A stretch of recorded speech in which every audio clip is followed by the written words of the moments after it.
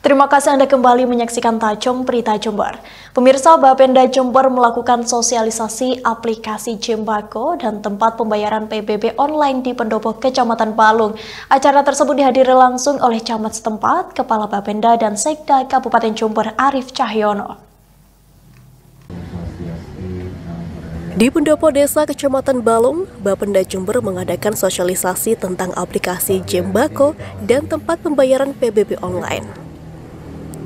Kegiatan ini dihadiri Camat Balung, Kepala Bapenda Jember, Sekretaris Daerah Kabupaten Jember Arif Cahyono. Melalui sosialisasi aplikasi Jembako dan tempat pembayaran PBB online ini, pemerintah daerah ingin memberikan kemudahan kepada masyarakat agar bisa membayar PBB secara mudah. Di samping itu, sistem tersebut dibangun agar menekan adanya potensi penyelewengan dana PBB oleh oknum yang tidak bertanggung jawab sehingga masyarakat dirugikan. Uh, aplikasi Cibango ini sudah sangat efektif untuk pembayaran pajak karena sekarang bayar pajak sudah nggak perlu lagi uh, road-road lagi. Harus nunggu Pak Kampung atau pemugas pemungut pajak yang di desa dan sebagainya.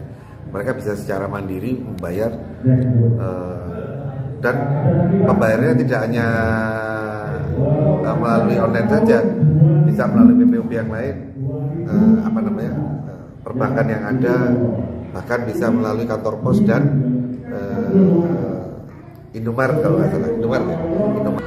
Dari Balung, Bambang Sugiarto Jember Satu TV melaporkan.